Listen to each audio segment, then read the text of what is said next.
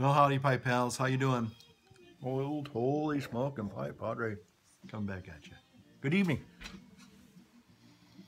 Well, I, this is the second attempt at making this video, so uh, we'll just keep trying. Eventually, we'll, I'll succeed. Hmm. Good Merry Christmas to all of you. Okay. Well, I'm back, and it's uh, the couple of days. It's uh, December twenty eighth, nineteen. Sorry, twenty fifteen. And uh, okay, I was wondering why is there a circle around my Santa? Not in real life, but it's in the video. Anyway, um, so I'm sitting here. I'm smoking a. Um, this is a Dr. Grabow. Anyway, uh, this is get my Herminator Herminator tamper here. Um, actually, this is a uh, some kind of a English-made pipe. I think the company starts with a D. Um, you know what? I'm gonna try to use some matches here. Some real matches. 860. Yeah. Because my lighter, I'm noticing, is starting to run out of fluid or fuel. So anyway, um, smoking some Christmas cookie. And this is an amber root. Quite a beautiful pipe. And yes, it is a kind of a uh, calabash, very stylized calabash. I'm smoking it kind of in honor and in anticipation of the new Sherlock Holmes episode that's coming out January 1 with Benedict Cumberbatch and Martin Freeman, I guess it is. Uh, Lester Nygaard. And so, anyway, I uh, am smoking some Christmas cookie, very appropriate to the season. I'm making a video to you. Um, in the background, you're hearing Shona Campbell, Scotland, my home. And it just is so interesting that um, this tape, this is one of my most dearest tapes, and I thought, to be honest with you, I had lost it. I haven't seen this tape in probably 10, 15 years. And I've moved several times, and I just assumed that this tape is gone. And, you know, I always loved this was one of the, my very first just little delights. Uh, I remember after I got ordained, and um, I don't know why, but I, I can't even remember where I got it. But I knew, I just remember that I just loved this tape. Um, and so the other, uh, uh, this evening, just this evening, today, um, I was looking for some other Christmas things, and all of a sudden I came up upon a box, and I noticed some tapes, just a few tapes. And most of my real keeper tapes uh, are in another box. This should have been in there, and that's why I know it wasn't there. Because I, as you know, if you watch a couple of my later, earlier videos, I've been going through and trying to organize some of my older audio things and and uh, record them. Um, so Um, I was really when I came across came upon this tape tonight. I was my heart just kind of danced inside because I always loved this little Scottish gal. Don't even know if she makes any more music or anything. Shona Campbell, and that's what's playing in the background. Um, however, what I found, to my delight, uh, along with this, was that this album, I can't believe it, uh, was probably made in the 80s sometime. Actually, there's a, a date. I'm just assuming it was made in the 80s. Um, wow. I think it says 1982. 1982. Anyway, um, so that goes back quite a ways. um, and I just thought I'd lost it. And to find it was wonderful. But then, even better, or just as just as wonderful, is iTunes actually has this album for download. So even if this tape is, after all these years, kind of either deteriorated, corroded, broken, whatever, they had the actual tape, even the same album cover uh, on iTunes. So that's what we're listening to tonight. I always thought her name was Sharon Campbell because I had remembered, you know, trying to go through and say, well, there are certain things that I'm still missing. I even found a very special Dr. Lloyd Ogilvie, Dr. John Lloyd Ogilvie. Even though he's a Presbyterian, uh, he was a, he still is. I hope he's still alive. He's a great, great preacher. Um, I mean, if you're trying to emulate uh, any kind of a preaching style, Fulton Sheen and o- Lloyd Ogilvie are just to me the best preachers ever. Uh, in fact, I actually got to go and hear Dr. Ogilvie preach um, at the Presbyterian Church in Sacramento back in 1994, 1994 or 95, and uh, I wish I had. I wish I had met him. I mean, I wish I had gone up to after one of his wonderful, wonderful talks slash sermons, but for some reason, I just I just didn't do it. And um, sometimes maybe that's a, maybe that's not such a bad thing because when you when you do have you know I would I guess I, would I say hero worship uh, might be a little over the top, but it was I had a lot of still do have a lot of admiration for this guy, but I don't know if he because I, I used to go to his lectures. I'd be you know coming from my day is at a parish, and I'd be having my little Roman collar on.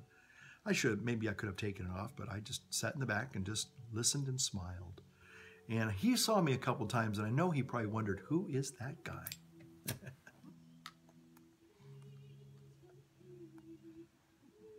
anyway, so instead of uh, having a uh, a forced encounter and having it be rejected, which would have probably devastated me. I said, you know what? I'm going to just enjoy what I hear and I'm just going to quietly leave after he's done. And I did. But I got the tapes. In fact, I think I called, well, this goes back maybe 10 years, maybe 14 years. I remember calling the church and saying, hey, do you have copies of those Dr. Lloyd Ogilvie uh, uh, talks or lectures? And they said, oh. And then one guy goes, oh, I remember that guy. Yeah, I remember him coming here. She goes, oh, no, we don't have anything like that. I might be the only person in the world that has those talks from 1994. It could be worth something. Anyway, I digress. Well, I'm here tonight. Hmm. In my smoking jacket with my amber root, Sherlock Holmes.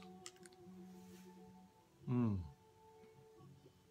My, with my Christmas cookie.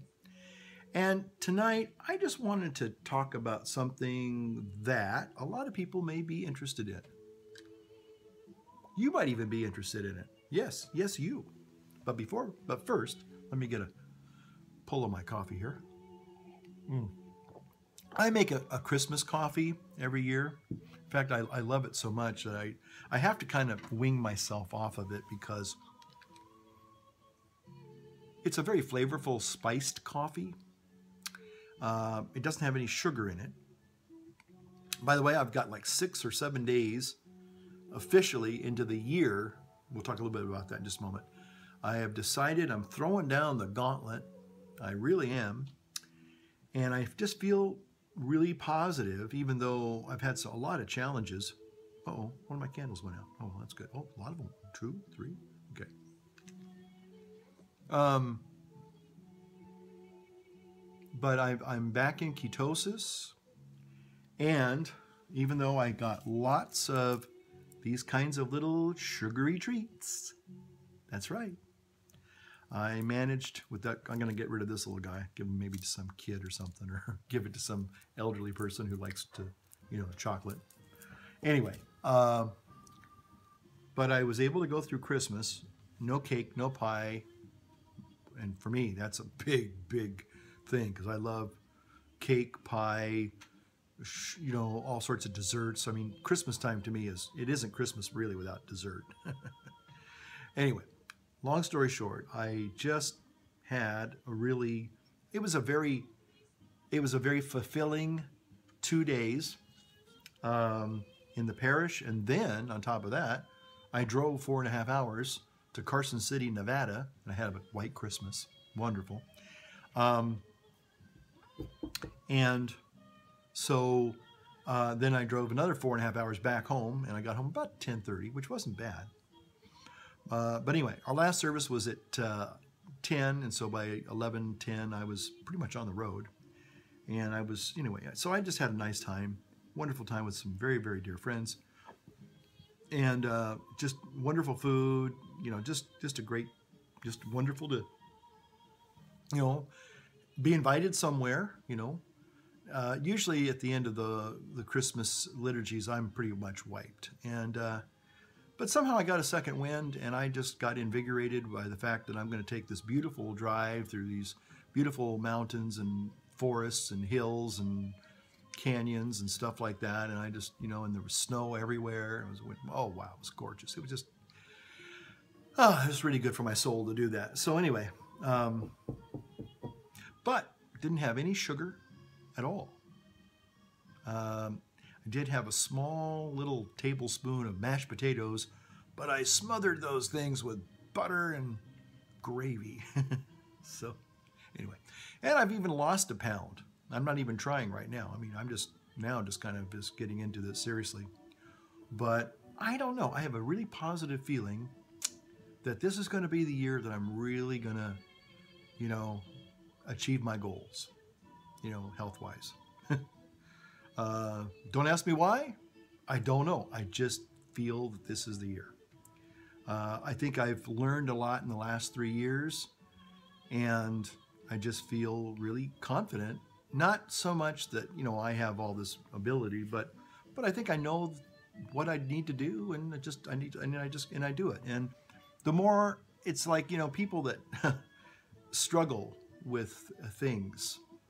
Uh, believe it or not, those are the ones. Those are the people. Because and, and the, reason why I say is usually with people when they struggle with things, because they slip and they they backslide or they quit and they and they just they just get so discouraged.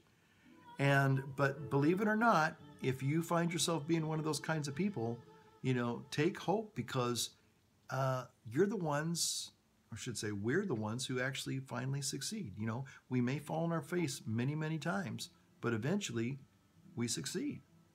It just happens. All of a sudden, it just clicks. I don't know what happens, but it, it does. And, um, you know, I've been close uh, last, well, this past year because I've been in this new assignment. Um, it didn't quite, I didn't quite go off the rails and I didn't quite, you know, have a real disaster, but I have gained some weight and I need to address that. And I know how to not gain weight. I know how to burn fat. and I have uh, everything now is in place here, where like it was at Good Shepherd. Uh, everything is sustainable, and that's that's the most important thing. Things have to be sustainable, you know. Um, for me, if I had to go to a gym, unless it was like right next door, and even that, you know, it's funny. At the other parish, it was next door, and I always felt self-conscious going over to the gym in the middle of the day or any time of the day because you know because I felt like people thought I was goofing off and not being you know taking you know uh, my ministry seriously or something. I felt like I was you know indulging in something that maybe other people would feel envious of, and you know, oh, well, he get to do that? You know. So I, you know, and, and that although that was a the, that was a, like my first year in 2011. I got there in 2009, maybe it was 2010. Yeah, I think it was 2010. I made an attempt. And this is what I want to talk to you guys and gals about because I know it's kind of a, again, it's kind of a little bit of a thorny issue for a lot of people this time of year. Okay. My Dunhill lighter decided it doesn't want to work anymore. But that's okay. I've got real fire.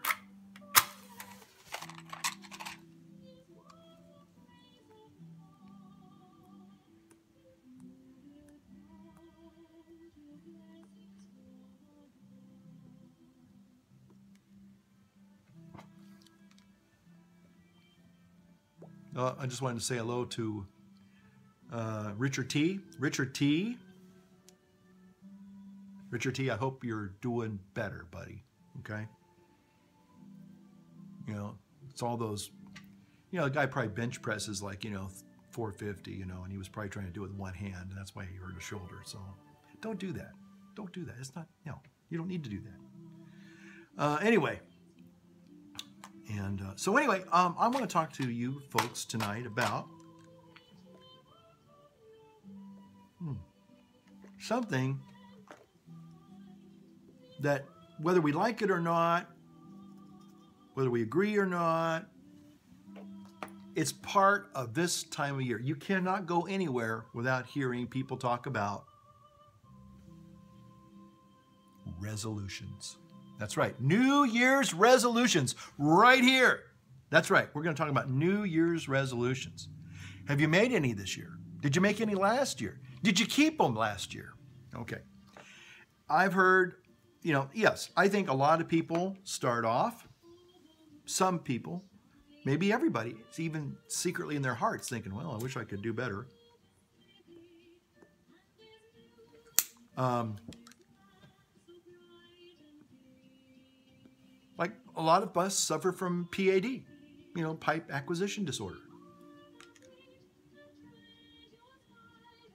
Um, I don't know. Yeah, let's see. This past year, did I buy any pipes this year?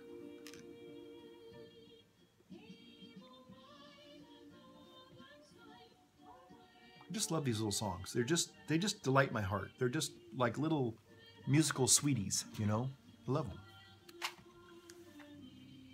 That's what they say in Scotland about little sweet treats. They call them sweeties, right?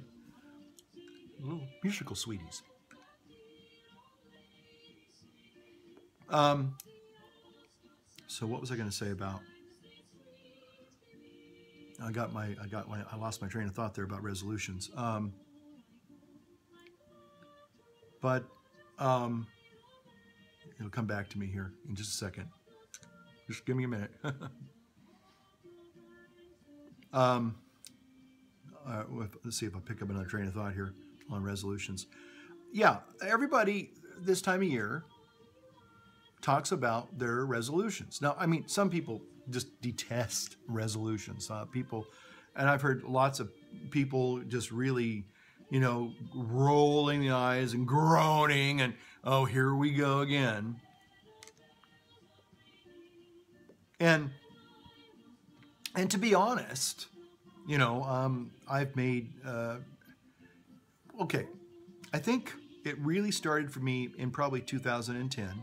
Yeah, yeah, it was 2010, where I started writing things down. And I think I've even come across some of those uh, earlier uh, resolutions, which I would keep. I would write them, write down the things that there was like me, and I tried to focus on like four or five things, which I thought was pretty realistic. It may be a little bit challenging, but I'm you know looking at, and a lot of them had to do with weight and exercise and you know giving up maybe some things, and you know so there was a list. And I know 2010 was the year I started doing that. And I wrote it all down and I would date and sign it, usually the day before. Sometimes I didn't get around to the writing the actual resolutions uh, until maybe a day or two or a week or two later, you know. But again, what I what I what I resolved to do was commit myself and make myself accountable. Um, now, again, a lot of people say, well, I make resolutions and I probably break them later that day or later that week or later that month, you know. I mean, fitness clubs are, are notorious for the, the January, February, you know, rush, all these people coming in to try and lose 50 pounds in the next two weeks. And uh, then I find out that it doesn't quite work that way.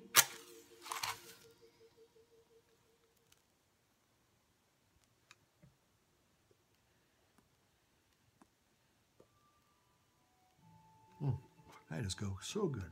So, so good. So it doesn't work that way. They get discouraged and they quit. And maybe they'll come back next year. Who knows? So anyway, um, I just, as I reflect back on the last five years, almost six years, right? And as people would say, well, you know, it's kind of a waste of time. Uh, I never complete what I start, or I always um, give in, and whatever it is, you know. Well, I have to say that I noticed that as I wrote those things down, I was actually surprised, and this is this is no BS now, did I keep all of them perfectly? No. I will be honest right up front. No. But there were many of those that I actually did successfully. Uh, one of them was to walk 30 minutes a, every day, with the exception of Sundays. Walk 30 minutes a day. Now, that doesn't sound like a lot to a lot of people, but actually, that's a good beginning. So, if you're really have been living a sedentary life, and you and you you know you, you really want to resolve to do something realistic that you can do resolve just to walk 30 minutes a day and i did that for i think the year either 2010 2011 and i was like okay. And i did that. Unfortunately i think the following year i completely went off that diet and that regime and didn't do very much that next year. But for one year i actually did walk 30 minutes a day.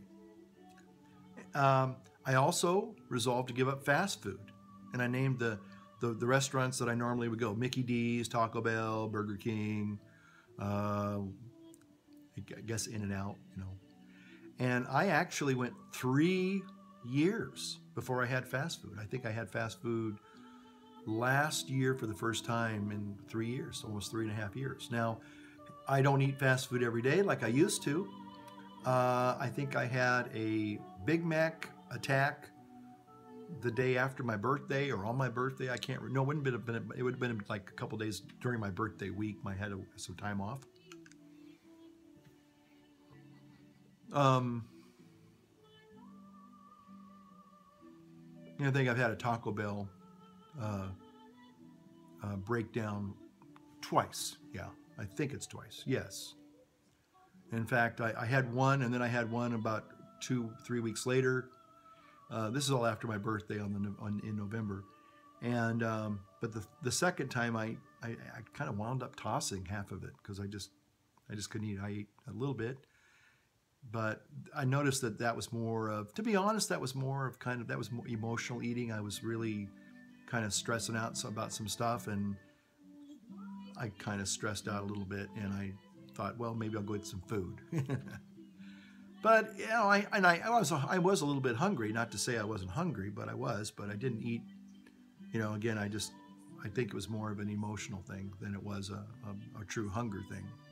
Anyway, but um, so Anyway, so resolutions. Getting back to the resolution part of this whole thing is when you write these things down, uh, and they, have, they do have to be realistic. Like if you say, "Well, I want to be a professional football player," well, yeah, that's probably a noble, pretty cool idea to try to become. And if you have the talent and you have the, you know, the age and the contacts, maybe maybe, maybe that'll happen for you this year. I don't know. But if you're 59 like I am and I want to be a professional football player, I don't think that's going to happen anytime soon. So you want to have realistic goals.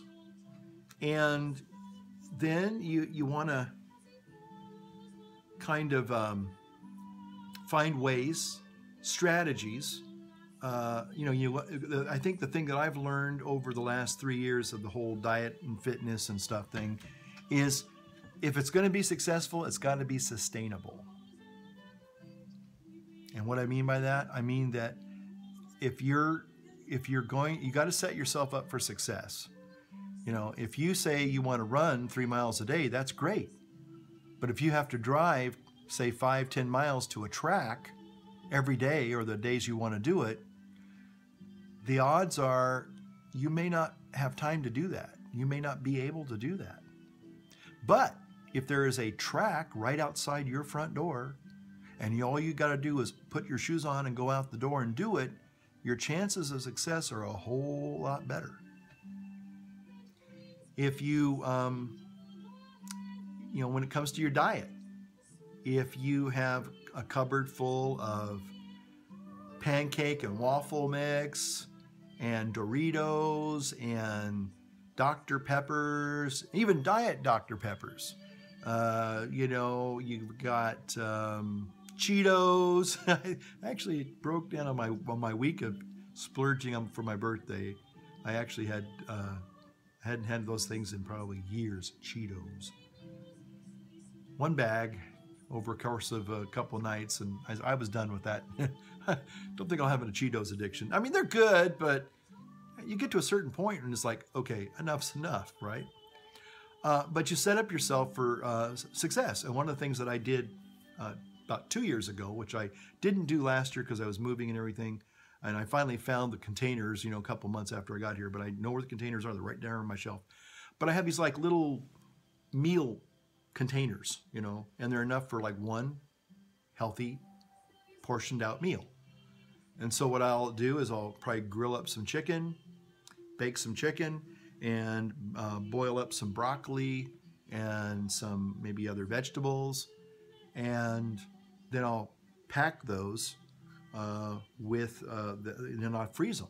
And so every night, all I got to do is just warm up a meal that's already ready to go. And I did that that year. I really lost a tremendous lot of weight, amount of weight, and I just did all these smart things.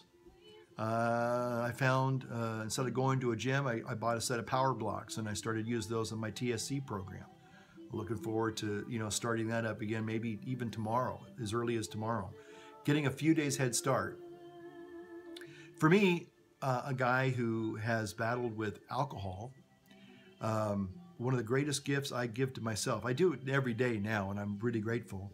But when I uh, realized that I couldn't drink anymore, um, and I went through, you know, my first few New Years without drinking because I went through a lot of New Years where I got plastered, almost killed myself one time. But the good thing is that I wake up New Year's Day and I just, life is good. Even if I wake up with a cold or the flu, life is still good. Um, and that's the gift I give to myself every year. And then I renew that gift every single day. And uh, it just, I tell you, it's a, it's a real big, it's a real big blessing. Uh, one thing I want to say in passing, I've been talking to a lot of people about this. Uh, last year, uh, at this time, actually, it was, yeah, it was last year. Uh, I started getting all of the uh, mercury fillings taken out of my teeth. I had quite a few as a kid, again, because I love sugar. Uh, I had a lot of cavities as a young boy, and uh, you know I got all my own teeth. Those are all, those are all mine. They're not fake. Yep, they're all mine. Um, and I actually was told by a couple hygienists early in my life that I was I was going to have uh, dentures by the time I was 40 because I was kind of irresponsible, and I was. Uh, good Lord has really watched over my my oral hygiene. I'll tell you that. Anyway, um, so um, my dentist, Dr. Edziak, and I don't think he'd ever watch these videos. I don't. I I'm sure he wouldn't, but he, he would frown on me for smoking. I know that. Uh, smoking a pipe, that is. But anyway, but he's a wonderful dentist, and uh, he has done some amazing things for my dental health. And, and one of those was last year when he took out all the mercury fillings. And all I can say is that I've been listening to a lot of people on YouTube who are really knowledgeable about health and fitness. Uh, Dr. I think his name is Jeff or David David uh, Getoff. David Getoff. And uh, he really sold me. He really convinced me that I needed to get those mercury fillings out of my head as soon as possible. Now, all I can tell you is in the last year, when I look back on it, um, the the emotions and the you know when we have disturbances and turbulence in our lives, you know sometimes you know you know it could just really ping you and you know and, and just or send you down to the the dumps or whatever you know and you know I, I tended to kind of have these really extremes you know really manic really really depressed manic depressed you know. Uh, but now I'm kind of noticing more of a, of a, of a curve, more of a just a gentle curve in that emotional existence. Um, and I've kind of gone through some stressful things even recently. And I noticed that even though I knew I was certainly dis- distressed, it, it, it wasn't as bad. And uh, they had said that uh, when you get the mercury taken out of your, your, because it's such a toxic thing, that people start to report that a lot of other things in our life start to kind of get better. And one of them is their psychological and emotional life. So I just wanted to share that with you. So in the new year, if you got a mer- mercury fillings and you can get them removed, you know, if your insurance will cover it, mine did, um, see if you can get those things out of there because they are toxic. And even though we think they're stable, they're, they're, they're technically, well, not technically, they're, they're, they're not. Uh, they do leak uh, toxic chemicals, metals in, into your system, and your body has really bad reactions to that.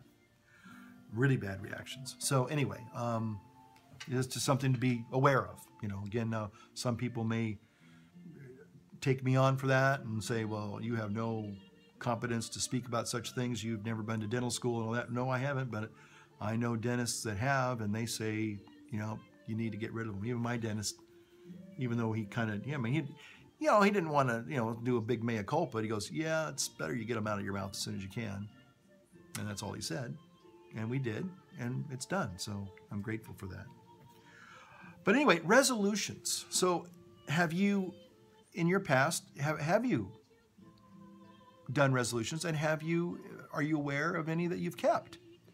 Um, so I find that if you write them down and you have a plan to enact them, you can be and will be successful. And I have several other instances where I planned on doing something that was kind of a, a big thing. Um, and but with uh, a resolve to work on it, whether it was a daily thing, weekly thing, or a monthly thing, I just kept at it, kept at it, kept at it, and sooner, uh, rather sooner, a little bit sooner, I was seeing some success and some results, and um, I was able to complete some of these things and, and, and, and achieve this resolution. So my resolution again this year is to be completely sugar-free for at least a whole year. You know, I've gone uh, several months on the Whole 30 diet, and again, that might be something that you might want to start on. Uh, that's where I first learned about elimination diets. And if that is something that might be a benefit and a blessing to you, again, it's not going to hurt you, but um, you know you might want to think about that. And there are lots of other ideas out there that are I think are pretty good. Uh, you know, people talk about juicing. I've done juicing uh, before. I found that a wonderful thing. Uh, fasting. I'm, I'm, I'm trying to implement now intermittent fasting again. And uh, but again, I have all these little successes, and now I'm going to try to put them more together and, and see where it takes me. But I do know, and I am convinced, without a doubt, that uh, for me, for me, that sugar uh, and highly refined carbohydrates just are just not. I just know they're not good for me.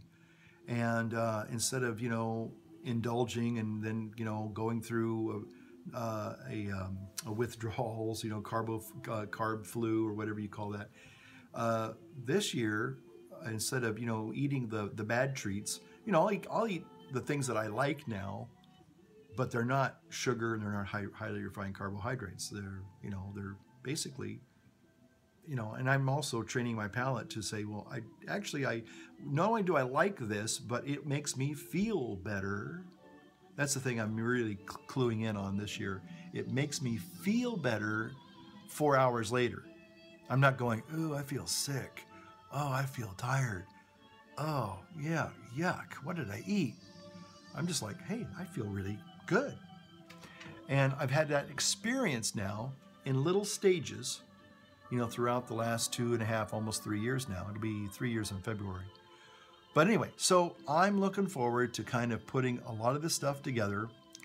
And I'm reason, reasonably success, feeling that I'll be successful in obtaining my, my goal, which is to be under 170, you know, probably 160 to 165 uh, at the end of this next year. So this is kind of an, an accountability video for me to see you know, where I go at where I am today, December 28th, uh, 2015, and see where I'm at maybe uh, January 28th, um, 2016. You know, Lord willing, the creek don't rise. So that's what I'm hoping to do. So I'm just wondering, do you uh, make resolutions? Have you kept any in the past? Um, what do you think about resolutions? Are you afraid to make resolutions? Because I think a lot of people are afraid that they'll fail. And uh, I'm thinking if you have realistic resolutions, you plan it out, you're realistic with yourself, you can obtain a lot of things. You can change. You know, we, when we resolve, we're, we're trying to change, make a change for the good, basically. And I think all of us long for uh, a better quality of life, whether it's an emotional life, a spiritual life, a physical life, or all the above. You know, we resolve to, you know, maybe do uh, good things with our lives, experience positive things. Um, and again, I think I think if we set ourselves up for success, uh, we may not obtain it today, you know, but I think if we if we do that and then we're consistent, you know, it's consistent effort. uh, you you'll you'll you'll surprise yourself. Um, and again, there's a lot of wonderful tools out there. There's a lot of good people out there that you can you know you can you can learn an awful lot. I know I have. I I, I know YouTube can be a kind of a it's it's just a big huge um, I don't know if I want to call it a junkyard, but I would just call it just a big huge uh, uh, maze of all sorts of things. And but but if you find some of the really good stuff out there, you can you can get channeled into some really positive, life helping uh, videos. People that know what they're talking about. People that are living. Uh, they're living proof that what they're saying and doing it works. Uh, they can even help uh, people that are new who are going through those awkward first few weeks and months uh, to say, oh, what am I doing wrong? You know, because sometimes we, we, we start out, this has been my experience, I'll start out and I think, okay, okay, I think I got it, I think I got it. And then maybe four weeks or two months down the road, I go, well, this isn't working, or it, it doesn't, I'm not feeling like I think I'm supposed to, and I'm having these problems. And, you know, nine times out of 10, you can, you know, if you know what the problem is, uh, you can even maybe even reach out to some of these people and say, hey, what am I doing wrong? And a lot of times people will come back, really helpful people, good people, and say, well, maybe you need to look at this, or maybe maybe you're doing this wrong, or maybe you maybe you should do, try this idea instead. You know, not to not to bring confusion, but just to kind of hone where you're going. You know, make it a little bit more specific for you. Um, and and the thing that I one of the things I think I've learned is you got to really be patient with yourself. I think that's the, that's one of the big secrets. A lot of times people are because we live in such an instant society. You know, we want everything and we want it now. No, we don't want it now. We wanted it five minutes ago. Okay. Um, the old saying is, you know, if you have like 50 pounds to lose, well, it didn't come on overnight. It's not going to go off overnight. Uh, but the, the wonderful thing is that uh, for me, was rediscovering that I still had a body that works. Um, 59 years old, I can go out and run if I want to. I can do push ups and pull ups. Uh, you know, now 10 years ago I couldn't because I was, you know, you can look at some of my older videos.